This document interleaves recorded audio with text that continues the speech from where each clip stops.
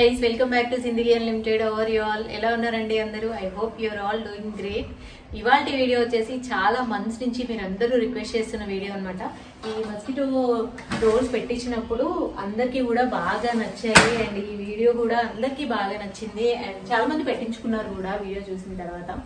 And చాలా మంది అడిగారు వీటిని ఎలా క్లీన్ చేయాలో చూపించండి అనేసి. సో కొత్తగా పెట్టినప్పుడు అప్పటికప్పుడు నేను క్లీన్ చేసి చూపిస్తే ప్రాక్టికల్గా అది కరెక్ట్గా అనిపించదు. ఎందుకంటే అప్పుడు అది కొత్తగా ఉంటుంది దాంట్లో క్లీన్ అయినప్పుడు మనకి డిఫరెన్స్ అనేది తెలియదు అనేసి నేను మీరు ఎంత అడుగుతున్నా కానీ దాన్ని అలా పోస్ట్ పోన్ చేస్తూ వచ్చాను. సో ఇప్పుడు ఫోర్ మంత్స్ అయిందండి ఆల్మోస్ట్ ఇది పెట్టించి అండ్ వీటిని ఒక్కసారి కూడా నేను క్లీన్ చేయలేదు. ఇప్పుడు డైరెక్ట్గా నేను వీడియోలోనే క్లీన్ చేసి చూపిస్తాను. అండ్ వీటిని ఎలా క్లీన్ చేయాలి అనేది నేను ఎవరైతే వీటిని ఇన్స్టాల్ చేశారో వాళ్ళ దగ్గరే కనుక్కున్నాను అనమాట సో ఇదంతా కూడా ప్రాపర్ మెథడ్ ఎవరైతే వీడియో చూసి పెట్టించుకున్నారో మీరందరూ కూడా దీన్ని ఫాలో అవ్వచ్చండి. అండ్ నార్మల్గా ఇదని కాదు వేరే రకాల మస్కిటో నెట్స్ మీ ఇంట్లో ఉండుంటాయి కదా. లైక్ వుడెన్వి కానీ ఏవైనా వాటిని కూడా ఇలానే ఇదే పద్ధతిలో క్లీన్ చేయొచ్చు అనమాట సో నేను మీకు చాలా డీటెయిల్గా చూపిస్తాను.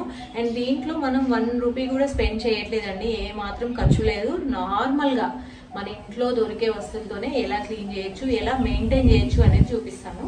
అండ్ క్లీనింగ్ అండ్ మెయింటెనెన్స్ వచ్చేసి దేనికైనా చాలా ఇంపార్టెంట్ అండి. ఇవి మనం పెంచాలి అంటే మనం స్పెండ్ చేస్తాం కదా మనీ. ప్రాపర్ క్లీనింగ్ మెయింటెనెన్స్ లేకుంటే ఏమవుతుందంటే ఆ మనీ అంతా కూడా వేస్ట్ అవుతుంది అన్నెసెసరీగా ఇది చిరగడము అవన్నీ అవుతాయి అనమాట సో బెటర్ మనం అంత ఖర్చు పెట్టి పెట్టించినప్పుడు ప్రాపర్గా మెయింటైన్ చేయడం అనేది చాలా ఇంపార్టెంట్ దీనికి మనకి పెద్ద ఇంగ్రీడియంట్స్ అంటే ఐటమ్స్ కూడా ఏమీ అవసరం లేదు. క్లీన్ చేయడానికి జస్ట్ కొన్ని క్లోత్స్ కావాలి కొంచెం కోకోనట్ ఆయిల్ కావాలి కొంచెం వాటర్ అండ్ కొంచెం సోప్ అంతే. ఇంకా ఎలా క్లీన్ చేయాలి అనేది నేను మీకు ఇప్పుడు చూపిస్తాను. వీడియో స్టార్ట్ చేసే కంటే ముందు నా పేరు షాకిరా అండి. మన ఛానల్లో బోల్డ్ అన్ని యూస్ఫుల్ అండ్ ఎంటర్టైనింగ్ వీడియోస్ వస్తూ ఉంటాయి. సో తప్పకుండా సబ్స్క్రైబ్ చేసుకోండి. చాలా మంది సబ్స్క్రైబ్ చేసుకోకుండా చూస్తూ ఉన్నారనమాట థ్యాంక్ యూ సో మచ్ చూస్తున్నందుకు బట్ సబ్స్క్రైబ్ కూడా చేసుకోండి. ఓకే అండి మరి ఇప్పుడు వీడియో స్టార్ట్ చేసేద్దాం. సో క్లీన్ చేసుకోవడానికి ఏవేవైతే కావాలో అవన్నీ నేను రెడీగా పెట్టుకున్నానండి.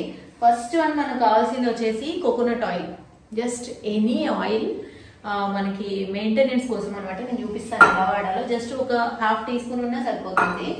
ఒక మెత్తటి క్లాత్ అండ్ ఇలాంటిది చాలా డెలికేట్గా మనం దుమ్ము దులుపుకోవడానికి ఈజీగా ఉండేది ఇదొకటి. ప్లస్ ఇలా రెండు స్ప్రే బాటిల్స్ కావాలండి రెండు కావాలి. సో ఈ రెండిట్లో వచ్చేసి ఇందులో నేను నార్మల్ వాటర్ తీసుకున్నాను ప్లెయిన్ వాటర్ ఇందులో వచ్చేసి ప్లెయిన్ వాటర్లో సోప్ యాడ్ చేశాను అనమాట ఏ సోప్ అయినా యాడ్ చేసుకోవచ్చు మనం. ఏమీ లేకుంటే విమ్ లిక్విడ్ అయినా యాడ్ చేసుకోవచ్చు. ఏదైనా పర్లేదు ఇది అదే అన్న ఏమీ లేదు. జస్ట్ సోప్ వాటర్ అనమాట మనం క్లీన్ చేసేది మోస్ట్లీ డస్ట్. అంతకంటే అక్కడైతే ఏమీ ఉండవు.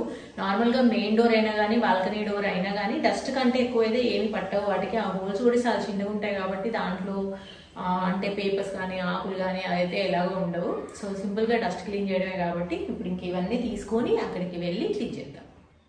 నేను ఫస్ట్ టైం ఇవి ఇన్స్టాల్ చేసేటప్పుడు వీడియో చేశాను కదండి. ఆ రోజు చాలా క్వశ్చన్స్ వచ్చాయన్నమాట. సో అవి కొన్ని నేను ఇవాళ వీడియోలో క్లారిఫై చేస్తాను. ఇది ఉంది కదా మెష్ దీంట్లో చాలా ఫ్రిల్స్ వస్తాయండి. ఇలా ఫ్రిల్స్ లాగా వస్తుందన్నమాట. అందుకే మెష్ చాలా సన్నగా కనిపించినా కానీ ఇది త్వరగా చిరగదు. దీంట్లో ఏంటంటే మనకి టైట్గా ఉండడం వల్ల సడన్గా పిల్లలు పరిగెత్తుకుంటూ వెళ్ళి తగిలినా అది చిరిగే అవకాశం ఉంది. కానీ దీంట్లో అంతగా చిరగకుండా ఉండడానికి ఈ ఫ్రిల్సే రీజన్ అనమాట. ఇలా కుచ్చులు కుచ్చులుగా వస్తుంది. అందుకే ఇది ఈజీగా ఇలా స్లైడ్ అవుతుందన్నమాట. అండ్ ఇక్కడ మధ్య మధ్యలో లైన్స్ లాగా కనిపిస్తున్నాయి కదా దారాలు. వీటి వల్ల కూడా అది మొత్తం మెకానిజం అనేది నడుస్తూ ఉంటుంది. ఇక్కడ కింద కూడా కనిపిస్తున్నాయి కదా ఈ థ్రెడ్స్ అన్నీ కూడా ఒకదానికొకటి కనెక్టెడ్ అండి. సో ఇదంతా ఒక మెకానిజం అనమాట సో మనం మెయింటైన్ చేసుకుంటూ ఉంటే ఇది లాంగ్ లాస్టింగ్గా ఉంటుంది. అండ్ ఇది నేను చాలా మంత్స్ నుంచి క్లీన్ చేయలేదండి. విల్లింగ్లీ క్లీన్ చేయలేదు. ఎందుకంటే నాకు ఈ వీడియో చేయాలి అనేసి తెలుసు అనమాట సో విల్లింగ్గా అలా వదిలేశాను. ప్రాక్టికల్గా చేసి చూపిద్దాము మీకు అనేసి. లేదంటే కొత్త దాన్నే నేను మళ్ళీ క్లీన్ చేసి వీడియో చేయడంలో అర్థం లేదు కదా. సో ఇది బయట వైపుకు ఉంది కాబట్టి బాగా దుమ్ము పడుతుందండి దీని మీద. అందుకే నేను ఈ డోర్ని ఎంచుకున్నాను. సో ఫస్ట్ మనం ఏం చేయాలంటే ఒక టవల్ లాంటిది తీసుకోవాలి. నేను ఇక్కడ ఒక చిన్న టర్కీ టవల్ లాంటిది తీసుకున్నానండి. దాంతో ముందుగా ఈ దుమ్ము మొత్తం తుడిచేయాలన్నమాట. ఫస్ట్ వాటర్ ఏమి పడకముందే తుడిచేస్తే ఏంటంటే మనకి ఈజీగా ఉంటుంది. అందుకే నేను ఫస్ట్ ఈ పని చేస్తున్నాను. సో నీట్గా తుడిచేసుకోవాలి. చిన్న ఇసుక లాంటిది ఉంది. అదంతా కూడా తీసేసుకోవాలి. వీటి వల్ల ఏమవుతుందంటే టైట్ అవుతూ ఉంటుందన్నమాట. దుమ్ము ఉండడం వల్ల డోర్ టైట్ అవుతూ ఉంటుంది. అందుకే ఇలా దుమ్ము ఉండకుండా చూసుకోవాలి. అండ్ చాలామంది ఆ రోజు నన్ను అడిగారు పిల్లలు ఉంటే వాళ్ళు ఏమైనా కట్ చేస్తే కట్ అవుతుందా? అంటే డెఫినెట్లీ కట్ అవుతుందండి. పిల్లలు ఏదైనా షార్ప్ ఆబ్జెక్ట్ పెట్టి కట్ చేస్తే ఇంకా కట్ అవ్వకుండా ఎలా ఉంటుంది చెప్పండి? సో ఇంకా నేను కోకోనట్ ఆయిల్ తీసుకున్నా కదండి.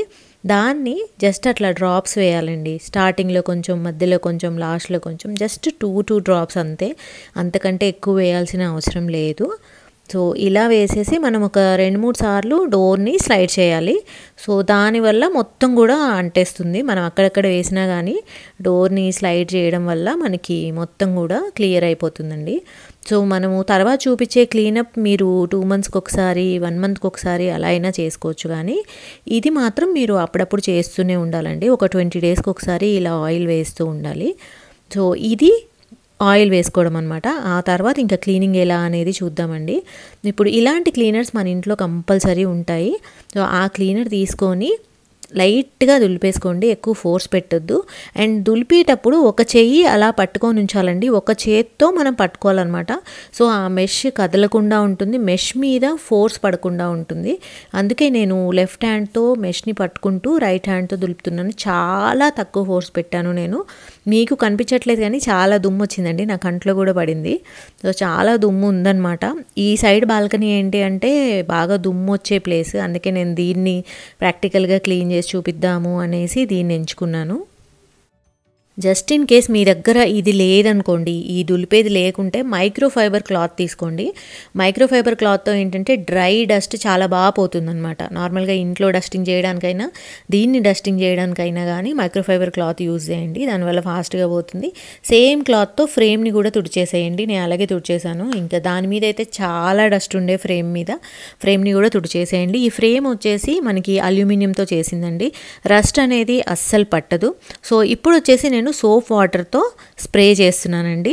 మనం స్ప్రే చేసుకునేటప్పుడు కూడా ఇంకొక చేతితో సపోర్ట్ ఇస్తూ ఉండాలి. నేను లెఫ్ట్ హ్యాండ్తో పట్టుకుంటూ రైట్ హ్యాండ్తో స్ప్రే చేస్తున్నాను. మొత్తం స్ప్రే చేసుకోవాలండి. డోర్ మొత్తం కూడా మనకి మెష్ ఎంత పెద్దగా ఉందో అదంతా కూడా స్ప్రే చేసుకోవాలి. మొత్తం నీట్గా వరుసగా చేసేసుకోవాలన్నమాట. స్ప్రే చేయడం వల్ల ఏమవుతుందంటే హోల్స్లో మనకి ఫోర్స్తో వెళ్తుంది కాబట్టి నీట్గా ఏమైనా దుమ్ము ఉన్నా ఏదైనా కానీ వెళ్ళిపోతుంది అనమాట మీరు అనుకోవచ్చు ఇలా పెట్టే బదులు మనం మగ్గుతో వాటర్ పోసేయచ్చు కదా అని. ఒకటి ఫోర్స్ ఎక్కువ అయిపోతుంది మగ్గుతో పోస్తే.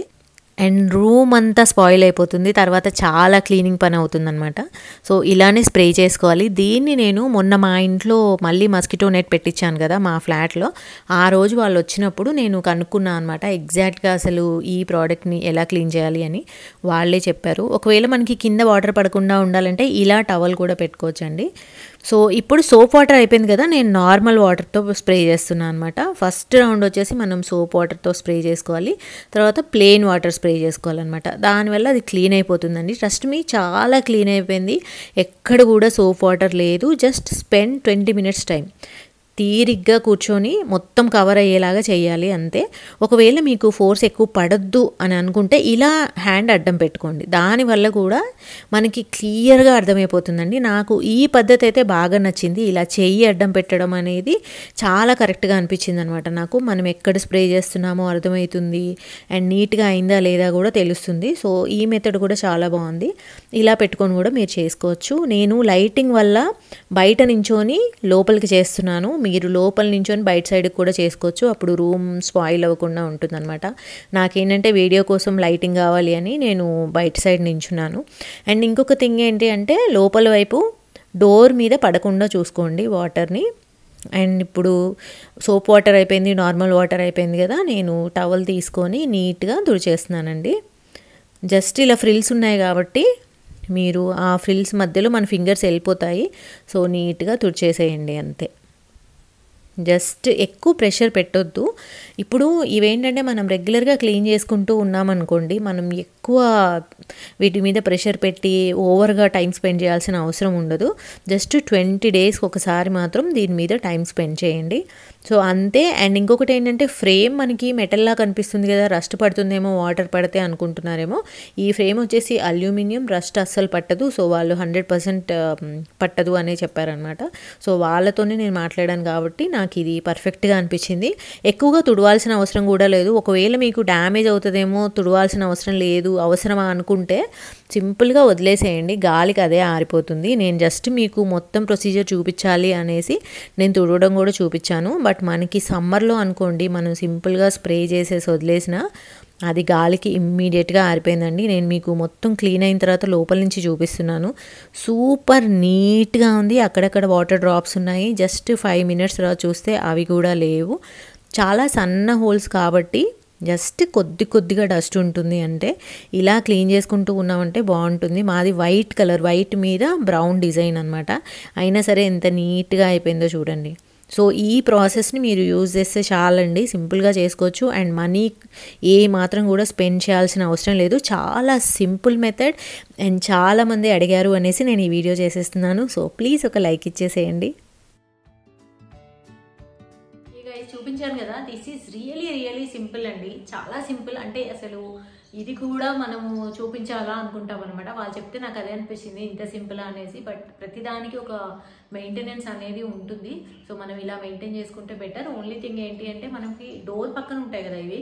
సో మనకి పక్కన ఏదైతే డోర్ ఉందో అది పాడవకుండా చూసుకోవాలన్నమాట. వుడ్ పాడవకుండా చూసుకోవాలి. సో మనం లోపల నుంచి బయటికి కొట్టడం బెటర్. నేనేంటంటే లైటింగ్ బాగుండాలి అని నేను బయట నుంచి నేను మీకు చేసి చూపించాను. బట్ మీరు రూమ్లో నించోని బయటికి వాటర్ కొట్టడం వల్ల ఏంటంటే మనకి డోర్ పాడవకుండా ఉంటుంది. అండ్ మొత్తం అయిపోయిన తర్వాత ఒకసారి డోర్ని కూడా మనం వైప్ చేసుకున్నామంటే ఇంకే ఇష్యూ రాదండి. మాకైతే ఫోర్ మంత్స్ నుంచి ఎలాంటి ప్రాబ్లం లేదు. అండ్ రీసెంట్గా నేను మా ఫ్లాట్లో కూడా పెట్టించాను. సో డోర్స్ అయితే బాగున్నాయండి. చూడడానికి డెలికేట్గా ఉంటాయి కానీ అవి అంత డెలికేట్ అయితే ఏమీ కాదు. అండ్ లాస్ట్ టైం ప్రైసింగ్ విషయంలో కొద్దిగా కన్ఫ్యూజన్ వచ్చింది. నేనేమనుకున్నా అంటే సింపుల్గా షేర్ చేశాను అనమాట నేను మా ఇంట్లో చేయించాను కాబట్టి మీతో షేర్ చేశాను. బట్ నేను అంతమంది సేమ్ టు సేమ్ పెట్టించాలనుకుంటారు అని ఎక్స్పెక్ట్ చేయలేదు. అంటే అది ప్రమోటెడ్ వీడియో కాదనమాట యాక్చువల్గా మా ఇంట్లోకి నేను చేయించుకున్నాను. సరే ఎవరికైనా పనికొస్తుంది. ఈ మోడల్ చూపించి ఎక్కడైనా చేయించుకుంటారు అనుకొని నేను మీతో షేర్ చేసుకున్నాను.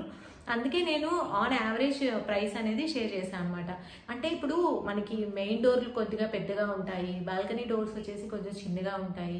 సో నేను ఆన్ యావరేజ్ ఫైవ్ థౌజండ్ అనేసి చెప్పాను అనమాట ఆ తర్వాత చాలా మంది వాళ్ళని కాంటాక్ట్ అవ్వడం జరిగింది. ఇది యాక్చువల్గా ఎస్ఎఫ్టీ ప్రైస్ ఉంటుందండి. సో ఎస్ఎఫ్టీ ప్రైస్ ప్రకారం వాళ్ళు చేస్తారు. సో ఎస్ఎఫ్టీ వచ్చేసి మనకి మనం పెద్ద డోర్ చేయించుకుంటున్నామా చిన్న డోర్ చేయించుకుంటున్నామా అన్న దాన్ని బట్టి కూడా ఉంటుంది. సో టూ ఫిఫ్టీ నుంచి త్రీ హండ్రెడ్ వరకే ఉంటుందండి ఎస్ఎఫ్టీ వచ్చేసి. సో మీరు సేమ్ టు సేమ్ చేయించుకోవాలి అనుకుంటే నేను వెండర్ నెంబర్ ఇస్తాను. బట్ మీరు ప్రైస్ మాట్లాడుకునేటప్పుడు మాత్రం పర్ ఎస్ఎఫ్టీ మాట్లాడుకోండి. ఎందుకంటే ఫస్ట్ వీడియో నేను కూడా ఎక్స్పెక్ట్ చేయలేదు. అంతమందికి నచ్చుతుంది. అంతమంది సేమ్ టు సేమ్ పెట్టించుకుంటారు అనేసి. అది నేను ఒక బిజినెస్ కైండ్ ఆఫ్ థింగ్లో చెప్పలేదన్నమాట ప్రైస్ నా నేను యావరేజ్ ఫైవ్ థౌజండ్ అని చెప్పాను. అంటే మనకి మెయిన్ డోర్కి వచ్చేసి సెవెన్ థౌజండ్ అలా పడుతుంది. బాల్కనీ డోర్స్ వచ్చేసి ఇంకొంచెం తక్కువ పడతాయి. సో మొత్తం కూడా ఎస్ఎఫ్టీ అయితే బెస్ట్ అనమాట ఎందుకంటే మనకి చాలా డిఫరెంట్ డిఫరెంట్ మెజర్మెంట్స్ ఉంటాయి కదా. సో వాళ్ళు సేఫ్టీ లెక్కనే తీసుకుంటారు. వీటిలో కూడా చాలా డిజైన్స్ ఉంటాయండి. నేను ఈ డిజైన్ చూస్ చేసుకున్నాను కానీ నార్మల్గా అయితే వాళ్ళ దగ్గర ప్లెయిన్ పింక్ ఉంది ప్లెయిన్ బ్లాక్ ఉంది ప్లెయిన్ బ్లూ ఉంది ఇవన్నీ కూడా ఉన్నాయి. నేను ఏంటంటే ఇది మనకి వుడెన్ థీమ్తో కలిసిపోవాలి అనేసి వుడ్ కలర్ ఉన్నదే చూస్ చేసుకున్నాను. ఇక్కడ విల్లాలోనూ అదే చూస్ చేసుకున్నాను. అక్కడ మా ఇంట్లో కూడా అదే చూస్ చేసుకున్నాను. సో ఐ హోప్ ఈ వీడియో మీ అందరికీ నచ్చిందని అనుకుంటున్నాను. ఇంకా మంచి మంచి వీడియోస్ కోసం మన ఛానల్ని సబ్స్క్రైబ్ చేసుకోండి. అండ్ ఈ వీడియోకి ఒక లైక్ ఇచ్చేసేయండి. టేక్ కేర్ అండి మరి. ఇంకా బోల్డ్ అన్ని వీడియోస్ రాబోతున్నాయి. Stay tune take care bye